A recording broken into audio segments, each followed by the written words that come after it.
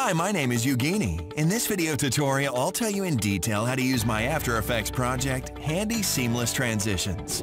This transitions pack has become very popular at VideoHive.net, probably because they're very simple to use.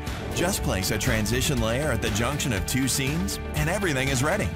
All Transitions works without pre-composes or media holders. It's transformed any content placed under the transition layer. Thus, you can create convenient modular video projects very quickly and without much effort.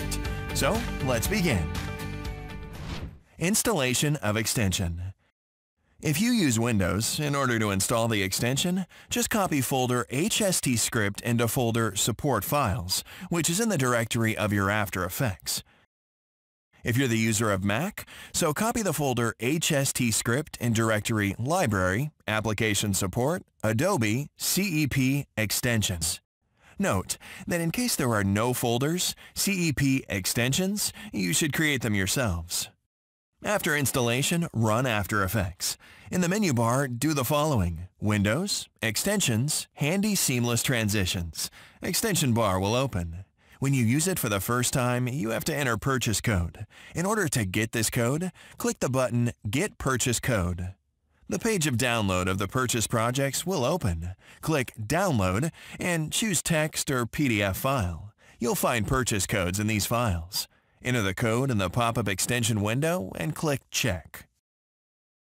If the code doesn't work, make sure that in After Effects settings has permission for scripts to write files or access to network.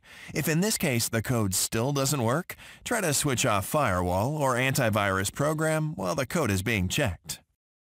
How to use in order to choose transition, open the list of the category and mouse over one of a number of transitions in the list. Transition Preview will start playing in Preview screen. Choose the appropriate transition and click Add Replace, or double-click the mouse on the chosen transition. The transition will import into Active Composition. Next, I'll show you the principle of adding transitions. If there aren't any highlighted layers, the transition will be added in Current Time Indicator. If there is some layer is highlighted in Active Composition, so the transition will be added in Joint above the highlighted layer. If the added transition is selected in Active Composition, so the button Add Replace or double-click will work in the mode Replace, and Transition in Active Composition will be replaced by that one selected in Extension List. If a lot of layers are selected in Active Composition, the transition will be added to each one. In this case, you can use different transitions at the same time. To do this, select Transitions with the pressed Control key. Besides, you can choose the order of adding transitions. Random is the mode by default.